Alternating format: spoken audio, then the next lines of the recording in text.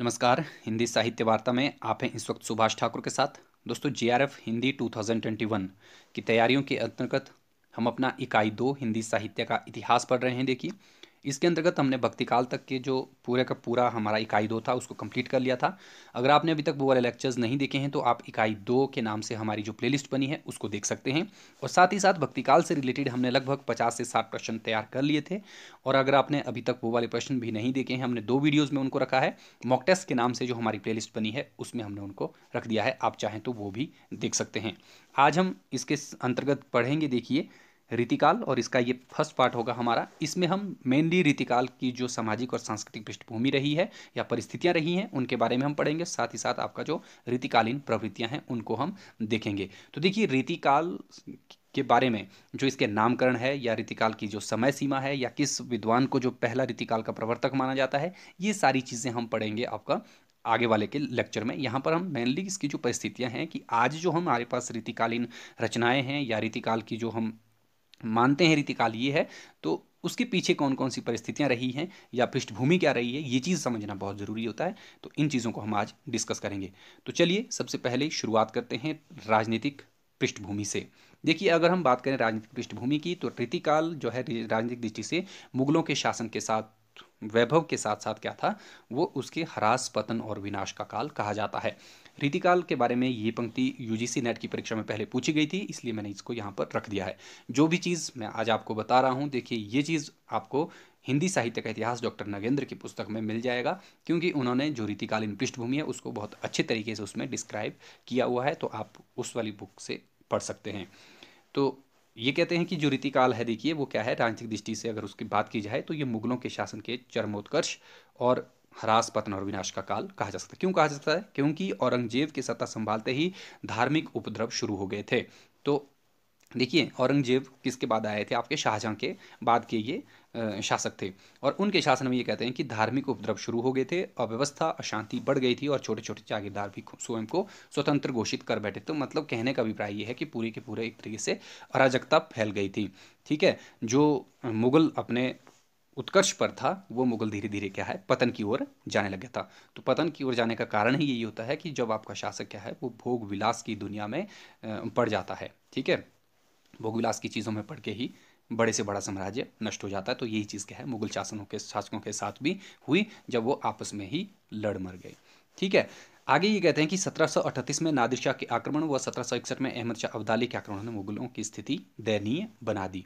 तो देखिए, ये जो अफगानी आक्रमणकारी थे, इन्होंने क्या किया? सबसे पहले नादिर अहमद शाह अब्दाली और नादिर शाह दोनों ने आक्रमण किया और जिसकी वजह से क्या है, मुगल राज्य जो पूरी तरह से ध्वस्त हो गया और यहाँ पर अंग्रेज़ों ने इसी स्थिति का फ़ायदा उठाया और अठारह सौ तीन तक पूरे उत्तरी भारत में उन्होंने अपना आधिपत्य जमा लिया था। जो केंद्र माना जाता था मुगल शासक, शासन को उसको उन्होंने पहले तहस तहस कर दिया और पूरे उत्तरी भारत को उन्होंने उसके बाद क्या कर दिया था? अपने आधिपत्य में कर लिया था।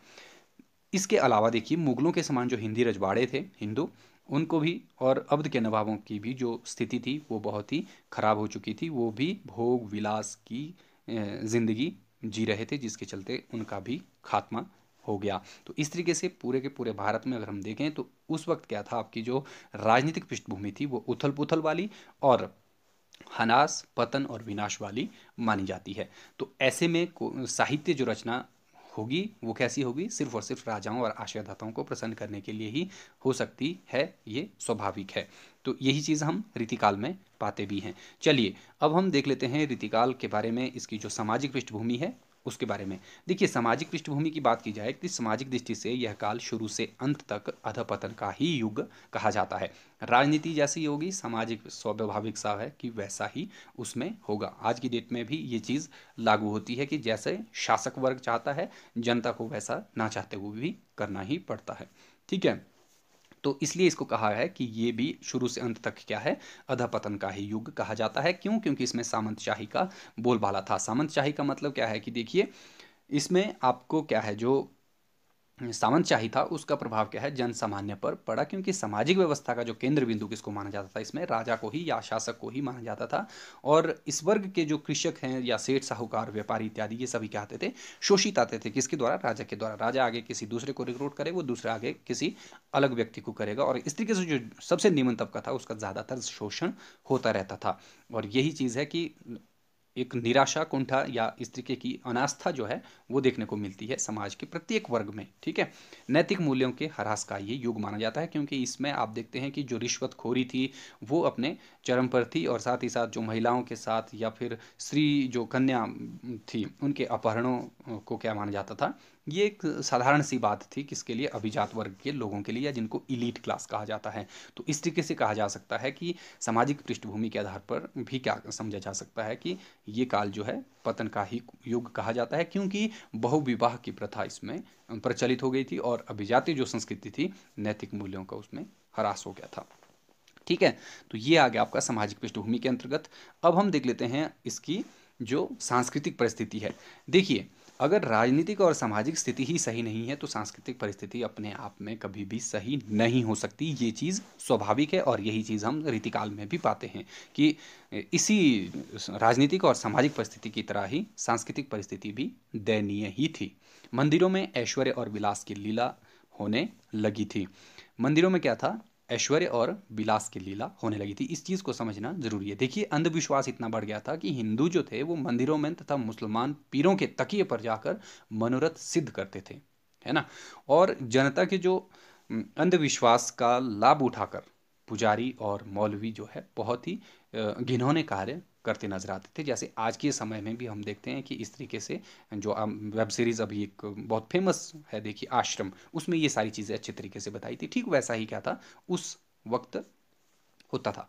ठीक है?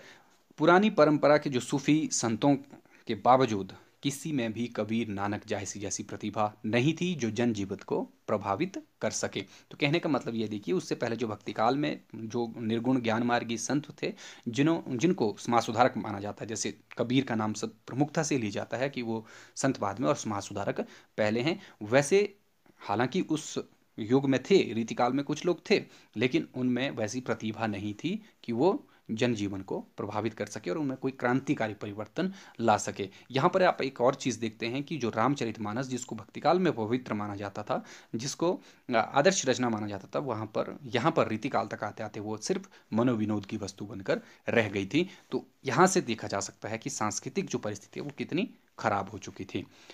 आगे अब हम देख लेते हैं, देखिए इसकी जो साहित्यिक परिस्थितियाँ थी, वो कैसी थी कि किस तरीके का साहित्य रचा गया? देखिए, साहित्य और कला की दृष्टि से इस काल को समृद्ध काल कहा जा सकता है, लेकिन वो एक हद तक। देखिए, एक हद तक कैसे? कि जितने भी आपके साहित्यकार थे उस वक्त, जो प्रत्येक आश्रयदाताओं की आश्रय में वो रहते थे और उनको सर्वोच्च सम्मान भी वहाँ पर मिलता था। हालाँकि वो आम जन सामान्य से ही थे, लेकिन उनको विशेष मान सम्मान मिलता रहता था। राजाओं के यहाँ, क्योंकि वो राजाओं को खुश करते थे, उनकी प्रशंसा करते थे। आप अगर वो युद्ध कोई जीत के आ गए तो उनका वो क्या था? अतिशयोक्तिपूर्ण वर्णन करते थे। तो इसके चलते ये कहते हैं कि सृजन के लिए अनिवार्य स्वतंत्रता का उसमें क्या अभाव था, जहाँ पर सामाजिक, राजनीतिक और आपका जो सांस्कृतिक परिदृष्टि से हम देखते हैं कि स्थिति दयनीय थी, उसकी ओर ध्यान न देकर वो क्या कर रहे थे? राजाओं की आश्रयदाताओं की स्तुति में ही अपना समय बिता रहे थे और उस तरीके की ही रचनाएँ रच रहे थे। क्यों? क्योंकि वो एक तरीके से स्वतंत्र नहीं थी अपनी आजीविका को कमाने के लिए, उन्हें सबसे अच्छा साधन वही लगा जिस अन्य, जिन अन्य विषयों पर वो लिख सकते थे, उन पर उन्होंने नहीं लिखा उतना ज़्यादा जितना लिखना चाहिए था। और ये स्वाभाविक था कि नहीं लिख पाते। अगर उनके खिलाफ लिखते तो उसका हश्र जो है वो किस तरीके से हो सकता था? जैसे घनानंद का हुआ। ये हम आगे विस्तार से पढ़ेंगे कि घनानंद के साथ क्या हुआ था। नेक्स्ट देखिए कि साहित्यिक जो रचनाएँ थी, वो महज राजाओं को प्रसन्न करने के लिए ही रची जाने लगी। तो ये बात तो स्वाभाविक ही है। ये मैंने आपको पहले भी बता दी कि जितनी भी साहित्यिक रचनाएँ उन्होंने रची, फिर वो सिर्फ़ और सिर्फ़ राजाओं को प्रसन्न करने के लिए ही रची जाने लगी थी। तो ये होगी साहित्यिक परिस्थितियों की बात। अब अगर हम बात करें इसकी जो मेनली जो प्रमुख प्रवृत्तियाँ थी, वो कौन कौन सी थी? तो यहाँ से आपको फ़िलहाल इस तरीके से ही प्रश्न पूछा जा सकता है कि इनकी साहित्यिक परिस्थितियाँ कैसी थी और सांस्कृतिक, राजनीतिक या फिर आपकी जो सामाजिक परिस्थितियाँ हैं, उनके बारे में ही प्रश्न पूछा जाता है। आप देखते हैं कि दूसरे जो हमारे आदिकाल, रीतिकाल, भक्तिकाल या फिर छायावाद, इन सब की विशेषताओं के बारे में थोड़ी थोड़ी सी चीज़ें जानना बहुत ज़रूरी है। और ऐसे कई बार प्रश्न पूछे जाते हैं तो परिस्थितियों से रिलेटेड, पृष्ठभूमि से रिलेटेड जो चीज़ें हैं, वो आपको थोड़ी थोड़ी हल्की हल्की याद होना बहुत ज़रूरी है। चलिए अब हम देख लेते हैं कि इसकी जो प्रमुख प्रवृत्तियाँ हैं, वो कौन कौन सी हैं? तो मेनली दो भागों में इसको बांटा गया है। देखिए, एक मुख्य प्रवृत्तियाँ, दूसरी गौण प्रवृत्तियाँ। मुख्य प्रवृत्तियाँ जो दो हैं, देखिए, आपका रीति निरूपण और श्रृंगारिकता।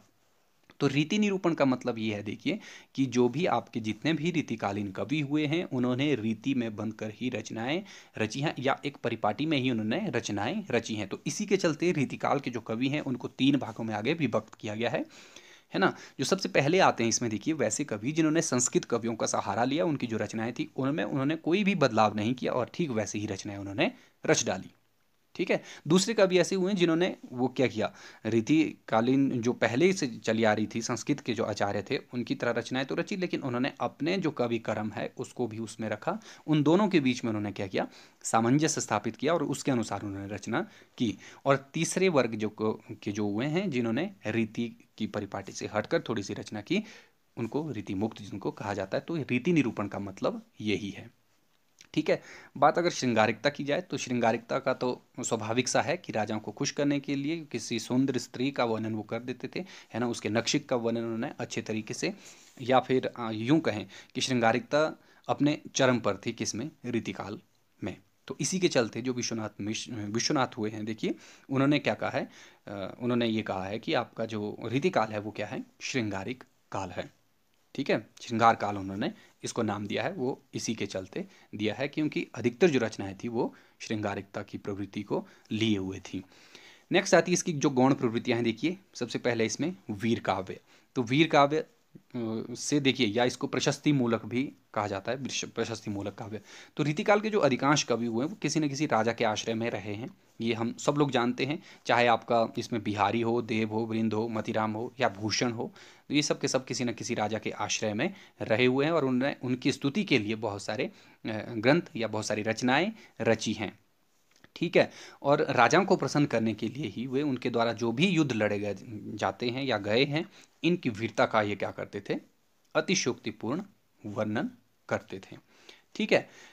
उसके बाद आता है, देखिए, अगला जो भक्ति परक काव्य है। तो देखिए भक्ति परख काव्य का मतलब क्या है कि रीति काल से पहले भक्ति काल था तो उसकी कुछ एक अंश का होना स्वाभाविक है कि कहाँ पर हमें मिलेगा? रीति काल में मिलेगा। तो यही चीज़ कहाँ पर देखने को मिलती है, हमें रीति काल में देखने को मिलती है। और नीति परक काव्य भी हमने, जब हम भक्तिकालीन गौण काव्य के बारे में पढ़ रहे थे, वहाँ पर हमने नीति परक जो काव्य था, या नीति परक काव्यात्मक जो प्रवृत्तियाँ थी, उनके बारे में पढ़ा था तो यही चीज़ रीतिकाल में भी देखने को मिलती हैं। तो ये मेनली जो कुछ एक प्रमुख प्रवृत्तियाँ पाई जाती हैं रीतिकाल में, ये हमने आपके बीच में रख दी हैं। इससे रिलेटेड प्रश्न यूजीसी नेट की परीक्षा में कई बार पूछ लिया जाता है तो इसलिए इसकी पृष्ठभूमि और इसकी जो मेन मेन प्रवृत्तियाँ हैं, वो मैंने आपके बीच में रख दी हैं। तो फ़िलहाल आज के लिए इतना ही दोस्तों। वीडियो अच्छा लगा हो तो प्लीज़ इसे लाइक कीजिए, अपने दोस्तों के बीच में शेयर कीजिए और चैनल को सब्सक्राइब करना बिल्कुल भी ना भूलें। तो फिर मिलेंगे नई ऊर्जा और नई स्फूर्ति के साथ, तब तक के लिए शुक्रिया, जय हिंद।